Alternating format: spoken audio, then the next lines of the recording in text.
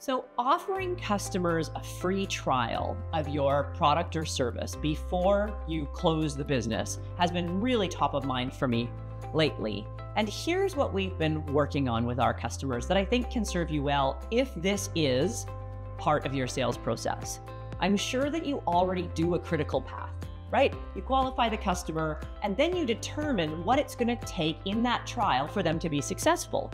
We carve out the amount of time it's going to take, and all the critical elements that have to come into place for the customer to say yes. What's often missing here, though, is understanding what happens if you fail. What happens if you don't hit that critical path? Does the customer just say no? Is it an on off switch, either yes, you pass or no, you fail?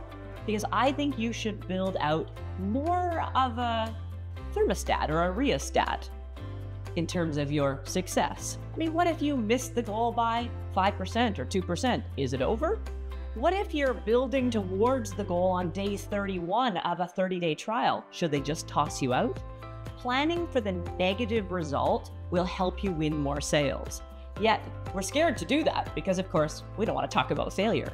But the best advice that I can give you as you're building your trial plans is to make sure that you know exactly what's going to happen in the case of success, but you also know what's going to happen in the case of failure.